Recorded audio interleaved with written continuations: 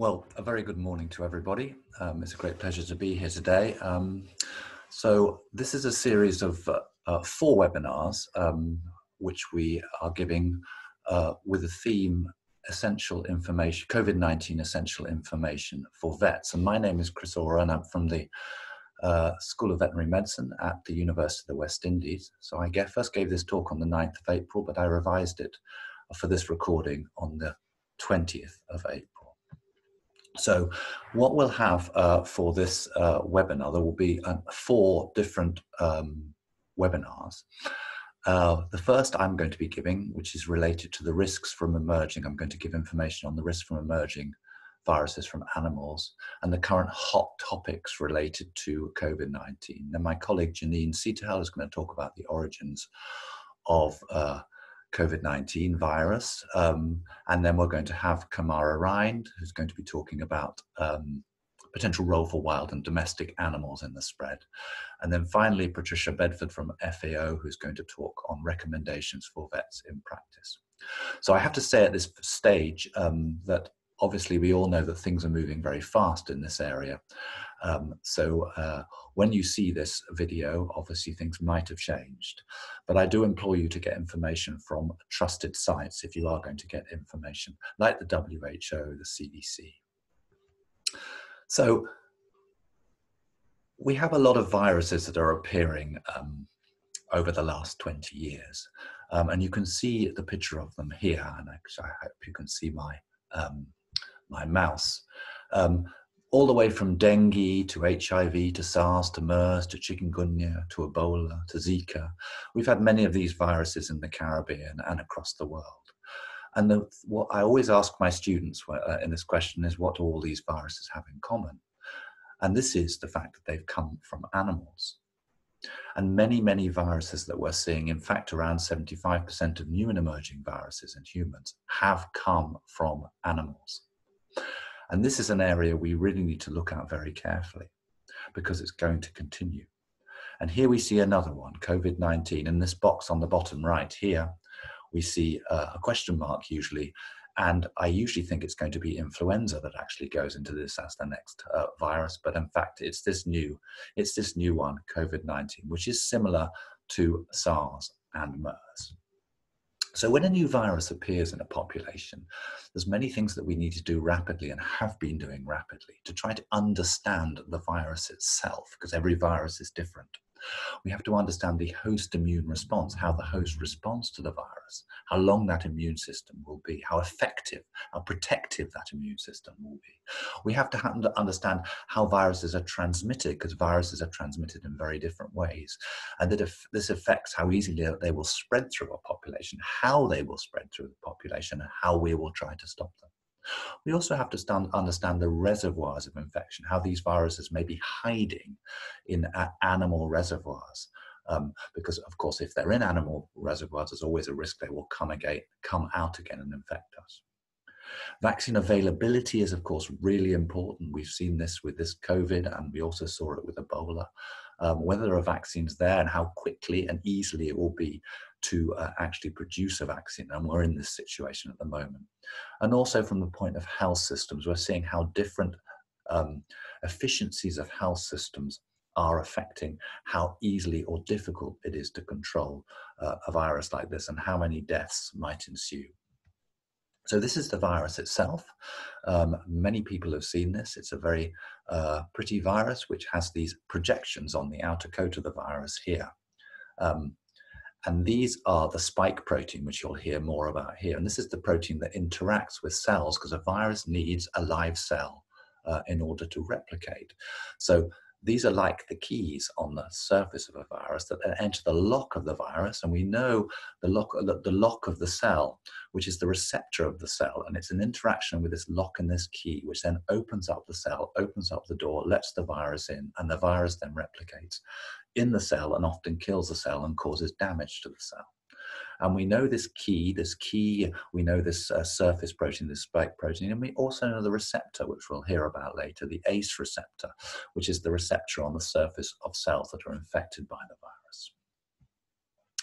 So we know the situation of this virus now uh, is very severe, and this is the 19th of April, and these are the cases that happened in the last week, and the darker the, the darker the blue, the more cases. And as we know, it's all around the world.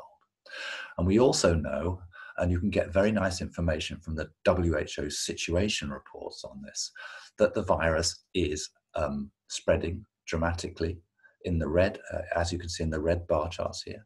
Um, that's in Europe and the brown bar charts here, and that's in the Americas. But the one good thing we can see here is in recent weeks, this curve, this peak is flattening, and that's because of all the things that we're doing um, to try to stop and delay the spread of this virus. So this is good news.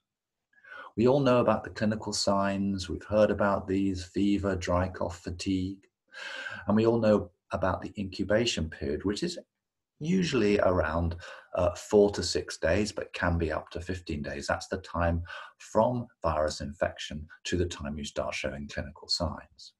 And we also all know that around 80% of people who are infected this virus with this virus are only going to have um, quite mild or moderate symptoms. They're not going to need um, hospitalization. However, the problem with this virus is around 20% of the people um, are going to get more severe clinical signs, and around 5% of these are going to need um, hospital care, emergency care, oxygen, and intensive care. And this is why we're having the problems because this 5% is a lot of people when you've got a lot of people infected at the same time. Um, and those are in danger of, um, of overcrowding and overwhelming our hospitals and our health systems. And that's where we're trying to flatten the curve and we're trying to stop um, or slow the spread of this virus so we don't have our health systems completely inundated. Many of you have heard that um, there are certain types of people that are more susceptible to the severe consequences of this virus. Um, we know that older people, as you can see in these figures on the left here, especially in the red, older people, uh, especially above 70, are more susceptible. And then it reduces with younger people being very uh, low susceptibility to the severe effects of this virus. That doesn't mean they're not getting the virus, it doesn't mean they're not transmitting the virus. But when they do get the virus, they have less severe symptoms. And we also know that certain comorbidities, health conditions, chronic conditions are contributing towards more severe uh, manifestations of this virus, including cardiovascular disease, um, diabetes, respiratory disease, hypertension. And we know that, uh, that males uh, looked as uh, so they might be more susceptible to the severe uh, to this disease than females. This was some inter interesting data that was right at the start in Italy that showed um, in the first around 1,235 people that died of the virus, only one person was actually under 40. And this really shows you uh, the susceptibility or the, the seriousness of this virus um, in older people. And that's why we hear about people, older people dying in large amounts, I'm afraid, uh, in, in care homes uh, around the world.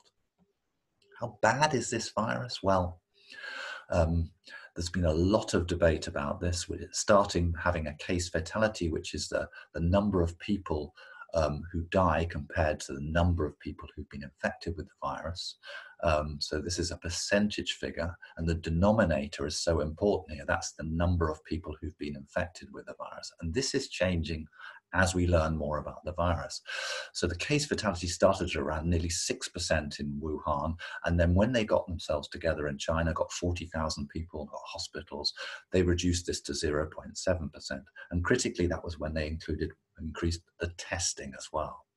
And we've seen many different case fatalities in different countries. For example, in Europe, where Germany um, have a low case fatality of around 1% to 2% um, whereas other countries like Italy, Spain, and the UK seem to have a high case fatality. And this is um, why this case fatality is different depends on a lot of different factors. And that would be the availability of appropriate healthcare. Obviously, if people were, if there isn't the healthcare available, more people are going to die. The population age structure, as we said, more older people are going to die. So more older populations, like possibly in Italy, the older, the elderly people are going to going to die general uh, population health and incidence of comorbidities, because that is a risk factor. Uh, as I explained earlier, if you have more of these comorbidities, you're going to get more people in that high risk factor testing, testing, testing is critical because the denominator increases due to testing. And we know now, as we're learning more about this, about this virus, there are more asymptomatic and mild cases than we originally thought. And this may be a large, uh, quite a large amount. And when you test and you put into the equation these asymptomatic and mild cases, you increase the denominator. So you're dividing your deaths by a much larger figure. So your case fatality is going down. And that's what we're seeing now. We're also seeing it when we're initiating antibody testing which is showing uh, people that have been infected with the virus. Um, and we're seeing that many more people, such as in Iceland and various other studies, are actually have actually been infected with the virus and haven't shown any or, or mild clinical signs, so they haven't been tested. So the case fatality is coming right down. And also, the efficiency of public health initiatives. Tracing is so important once you get positive tests, how you're able to trace that and quarantine people who have been in contact with positive um, samples. Uh, and you can, you can catch people early and you can treat them early. So, the efficiency of public health initiatives is also affecting the case fatality. The other important question that we need to address is uh, how this virus is being transmitted. Um, there's been a lot of um, debate about this, um, and there is information coming out all the time. Some of it's not peer reviewed, so we have to be a little bit careful about how we um, how we interpret this kind of data.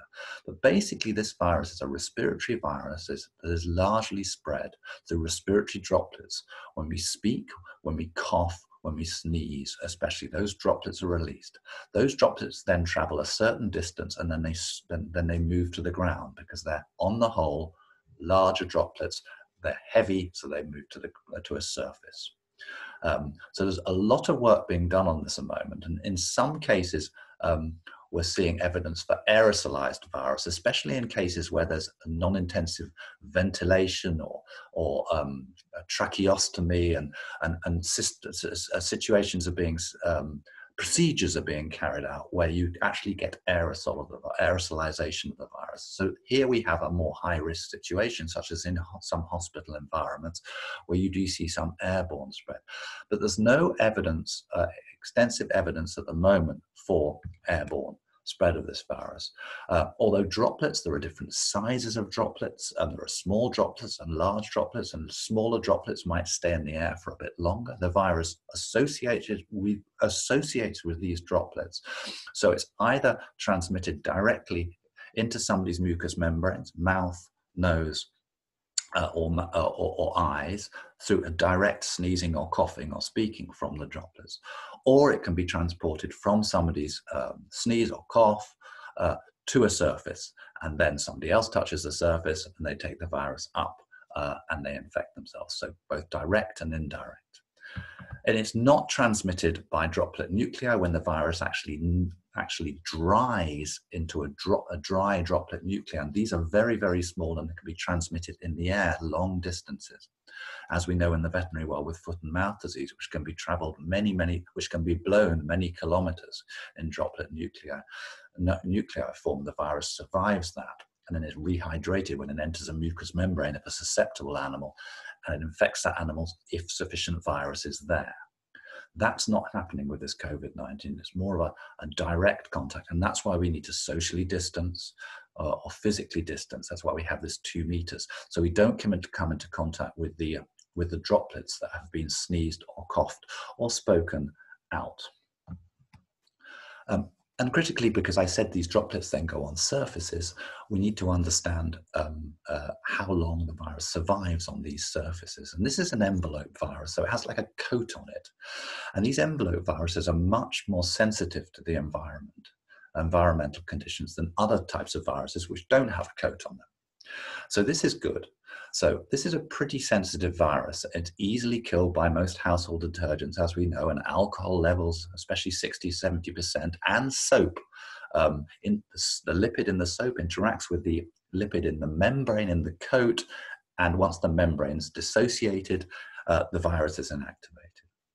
So there are quite a few different um, uh, there are quite a few different studies showing how long, experimental studies showing how long this virus might be present on, on surfaces. And basically, it's from a few hours to a few days.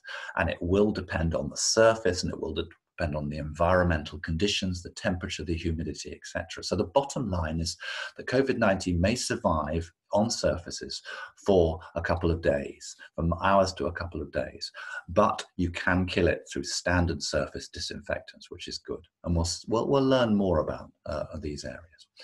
So from all this, we, we, we, we need, we are understanding you know, the key things that we need to do. And we all know these, washing our hands regularly, because this kills the virus. Avoiding touching our mouth, nose, and eyes because this is the mucous membranes that the virus needs to get into to infect us. Disinfect surfaces because the virus might be on surfaces and it's easily disinfected. Physical distancing two meters apart because of this droplet infection. The, the majority, the, the droplets um, don't travel for more than that distance. Self isolation, obviously, if you're sick or your family is sick, don't go out because you're going to be transmitting the virus. Try and catch a cough and a cold, a sneeze, because these droplets are going to transmit others. Don't visit health centers, doctors, and hospitals. Um, if you've got clinical signs, call and get help from helplines, uh, get advice from helplines. Support, as we've heard, the elderly and people with underlying health conditions so they avoid infections. These should be, people should be isolated. Potentially masks should be, should be worn by them and by the people caring for them. So we maximize, we maximize the chances that they don't get infected. And we all, we're all in this together, so we shouldn't panic buy. So just to finish off, I wanted to talk a little bit about some of the areas, and they'll come up in questions, I'm sure, that, uh, that, that, have come up in some of the questions um, uh, that are sort of a little bit unknown at the moment. And there are many trials and studies being published at the moment. We have to be absolutely sure that these have been peer reviewed um, because that is the process whereby we really underlie, we really understand that these, these, these studies have been done properly and the peer review scientific community um, have accepted them as being, um, as being bona fide proper studies. So there's a lot of uh, talk about how long, long, long the immunity lasts for. And we know from other um, coronaviruses that um, immunity can be not that long, but um, it's usually for a month or at least hopefully a year, but then it does reduce um, often in natural infection. So we have to learn more about how long this immunity will last for, how long antibodies will last for, and how long and how effective protection will be. Um, uh, after people are infected. But it's likely to be a reasonable uh, length of immunity. But the jury is out a little bit at the moment. Can people get reinfected with the virus? I think uh, this is maybe a year later, yes, but soon after they've been infected, I think this is unlikely, or there have been some reports, but this could be due to testing anomalies or sampling anomalies, more likely than that people soon after they've been infected are going to be susceptible again. I think that's unlikely. Will the virus mutate and invade any vaccines? Again, these viruses do mutate, but not significantly, not like um, influenza virus. Um, so I think it's very unlikely that this virus, although it will mutate, I think it's unlikely that that mutation will change what we call its phenotype or its behavior and make it able to evade vaccines. So that's good news. How long will vaccines take to produce? Well, this is, the, this is a big question. They will probably take at least another 12 months, they have to be um, uh, um, um have to be 100% sure that they are safe and effective.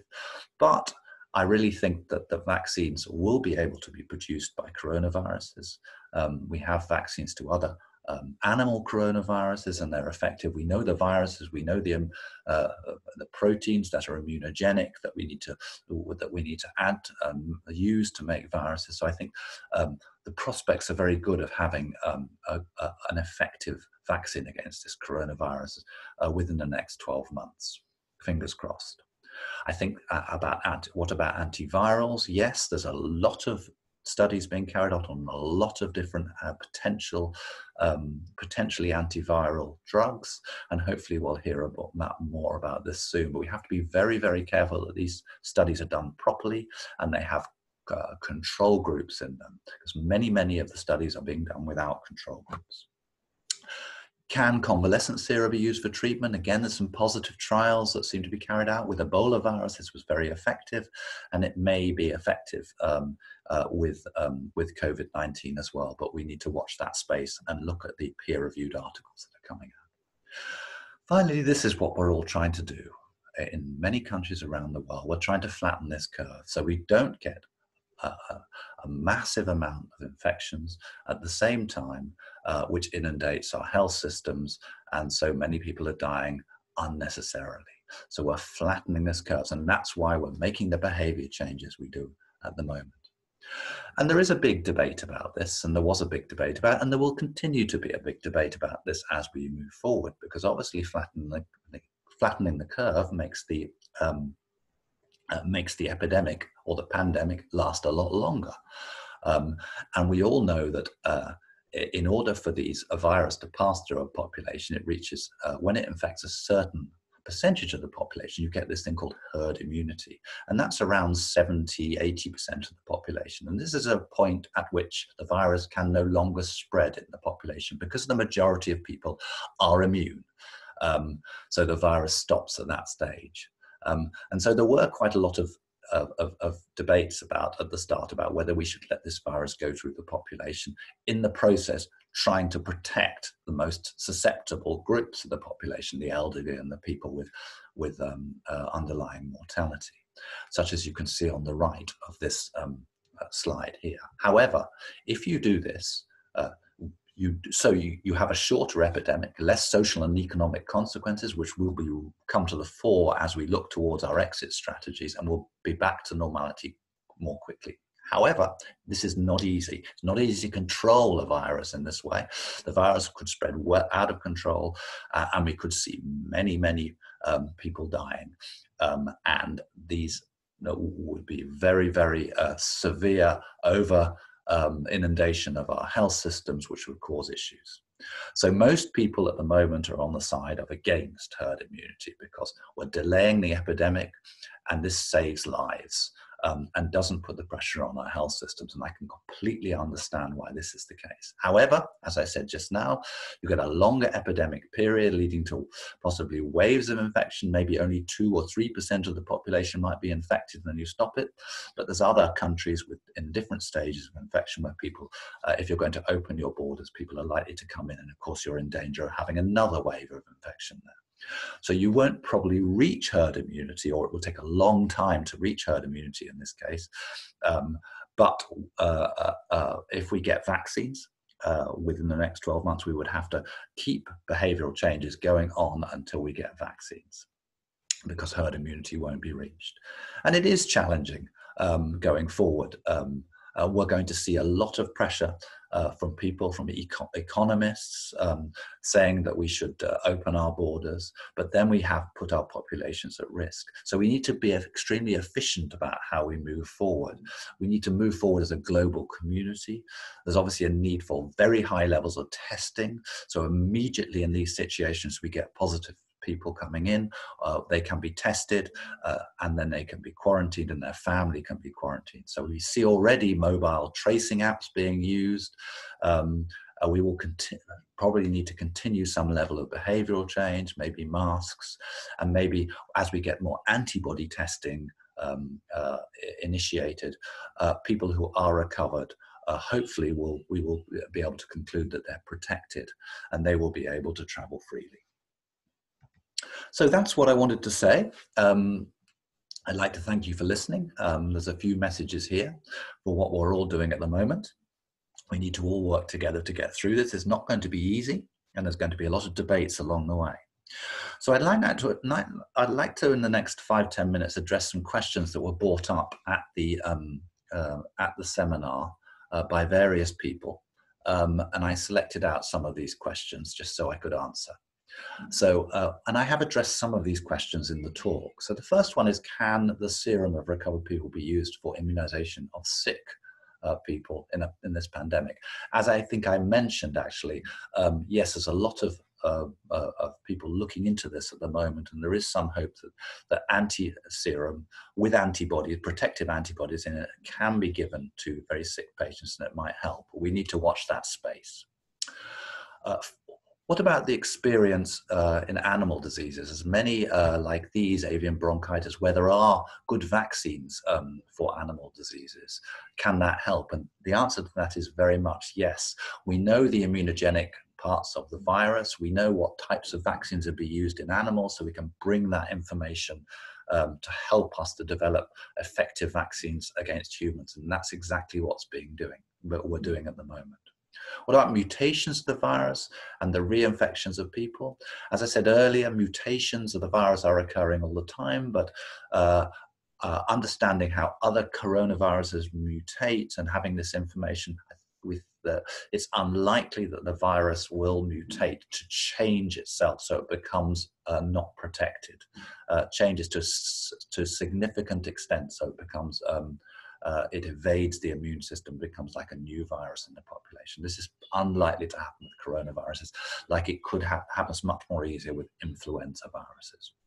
Does infection cause lifetime immunity? Probably not with coronaviruses. Um, uh, they don't have a particularly long level of immunity, maybe uh, a year or a little bit more than a year, but then um, uh, then it reduces. Um, but we have to wait and see um, whether that's the case. Has COVID 19 mutated since the first outbreak? Yes, uh, only, but only in, on, uh, on a minor level, not really affecting it, as I said earlier, but we are able to track the virus as it spreads by full genome sequences, uh, and as it mutates, we're able to track it from place to place. So, is it worth creating a vaccine, or will this coronavirus always be with us like influenza viruses? Yes, it's worth creating a vaccine, um, because I think that will be effective. However, this virus might be with us, with us, and it might join us as a seasonal virus uh, for many years to come, and we might have to take a coronavirus vaccine every year along with our influenza vaccines. What would be the strategy which protein to target to develop an effective and long-lasting vaccine. Well, many of the vaccine studies now are using that spike protein that I talked about earlier. This is the immunogenic protein. And they're taking the, the genetic sequence of this spike protein out and they're putting it into a, um, another virus like an adenovirus, which is able to express that protein when, it, when it's put in in vaccine form into a person and it expresses that protein at very high levels, actually higher levels than natural infection. So it's very, very efficient at expressing that protein when you vaccinate it, and it's that protein that we hope will produce a very effective immune response. Um, so uh, I, I, hope that um, um, we will have a vaccine based on the spike protein uh, within the next 12 months. Are the recovered COVID 19 patients being retested to affirmatively confirm that they have fully recovered and are no longer able to, to be contagious? Yes, in many cases, uh, there is testing going on of uh, people, hospitalized patients, and until they get negative, two negative tests, sometimes they're not allowed out. But obviously, when in countries where there's a lot of circulation going on, um, this is not the case. Um, Considering there are some asymptomatic persons or carriers and the testing potential of many countries, um, how will this affect the aspects of flattening the curve? This is a really critical thing because we know there is a high percentage of asymptomatic and mild cases that haven't been tested. Um, and these asymptomatic cases, especially, are still likely to be able to transmit the virus from person to person. So sometimes we don't know whether a person or a person doesn't know whether they're infectious or not. And this obviously will have an effect on the spread of the virus. Um, the more asymptomatic, unknown infectious patients that you have who don't know they're uh, going out and don't know they've got the virus, the more likely it is to spread, uh, and the more challenging it is going to be to flatten the curve.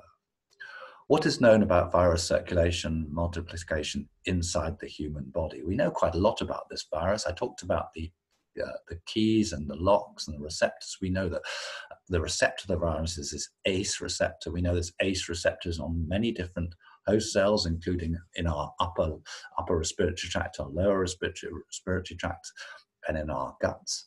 Um, and we know that younger people have less ACE receptors, as you grow older, you get more ACE receptors. We know that men have more ACE receptors, and this is probably the reason why this virus is causing more problems in older patients and in men.